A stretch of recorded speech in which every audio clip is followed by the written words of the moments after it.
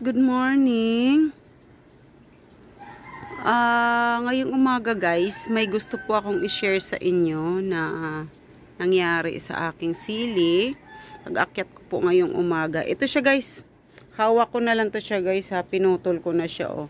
Kasi kasi ang nangyari po sa sobra po ng dami ng kanyang bunga, nakikita nyo po ba? Ayan po oh. Sa sobrang dami na ng kanyang bunga sa isang sanga na ito, ang bunga po ay 2, 4, 6, 8, 10. Sampung piraso po sa maliit na sanga na ito ang naging bunga nitong aking siling haba. Ayan po. Yan, kung na inyo pong nakikita yan. Ito po yung puno niya. So guys, naakyatan ko siya napansin ko yan lang po yung kanyang pinagtaniman. Yan po yung pinagputulan ko. Sa, lo, sa likod guys marami pa pong bunga. Kung napansin nyo po kakaiba po siya. Ayan po yung ibang sili. Nahinog lang nga lang po yung isa guys oh.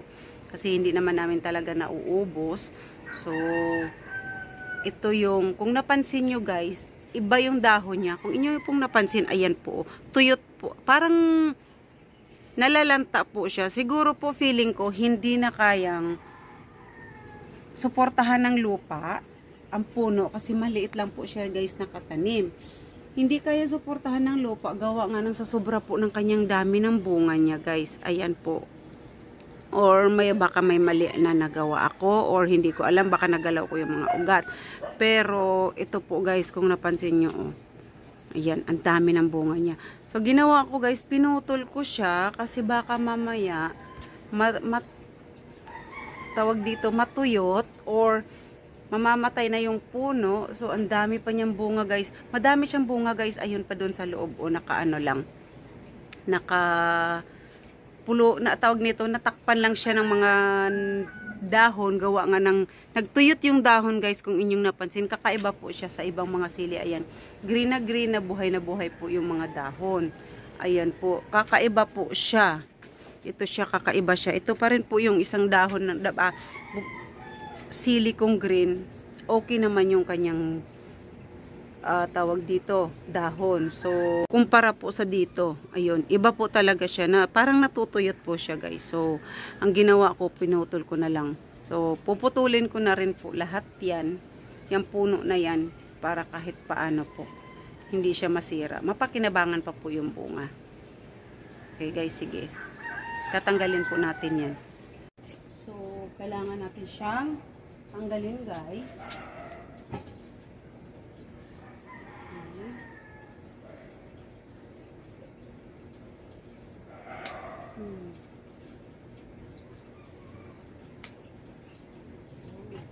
Iba kasi talaga siya.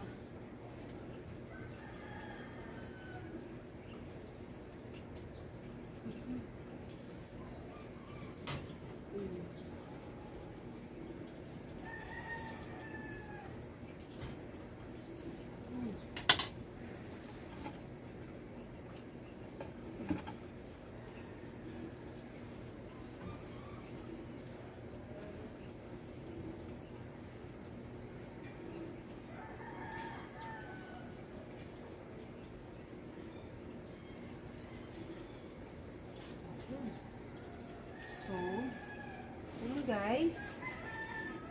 Ang dami po niyang bunga. Yun. Ito, isa. Actually, may palaki pa nga po sana eh. Ayan, o. Oh, kaso lang, hindi na po talaga. Kung napansin niyo po, hindi na po kainaman yung dahon. So, inagapan ko na. Baka kasi masira din yung mga bunga guys. Kaya, tinanggal ko na lang. So, Okay. Pinutol ko na siya guys kasi baka masira pa po yung bunga. Sayang naman. Magagamit din naman to. Lalagay ko na lang siya sa ref. Ayun. One down. Okay guys. So, yan lang po muna ang ano guys. Tignan niyo po yung aking sili na haba. Pumula na siya. So, hindi ko na yun siya tatanggalin guys. Hahayaan ko na yun siya dyan na mag ganyan kasi gagawin ko na po yan siyang punla. Yan na po yung magiging punla ko. marami pa namang mga green. So, hayaan ko na muna yung red, red na yan. So, Ah, paano na? yun. So, ito siya guys. Tinanggal ko na. Ang daming bunga. Oh. Siguro po hindi na kayang anuhan talaga ng lupa, yung puno. Gawa nga sa dami ng bunga niya. So, nakatanim lang siya sa isang bottle, mineral water na bottle. Yun lang yung napagtaniman sa kanya. Pero, tignan nyo naman, ang bunga. Oh, ha? Mm. Success. Parang, feeling ko parang natutuwa ako sa nangyari. Kahit na sa ganun lang na ano, sa ganun lang na paraan. Nakapag ano ako, nakapagpatanim ako. Nakapagpabunga ako ng ganito. At ganyan, karaming sili. na kahit sa mga ano lang, sa mga mineral water lang na ano, bottle. So, bakit po kayo hindi nyo gawin? Kaya nyo din po, na kaya ko nga din po magtanim sa mga bottle lang. So, sana kayo rin. Sa mahal po ng bilihin ngayon. Ang balita ko nga po guys, yung gulay sa palengke is hindi na siya tali-tali, parang kilo-kilo na. Mm-mm. Ayun yun sa, ayun sa nagkwento sa akin na kaibigan ko.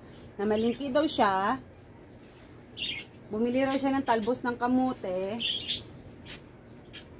Nagulat daw siya. Nilagay sa timbangan yung ano, hindi na siya tali. So, ibig sabihin, kilo-kilo na ang pati gulay.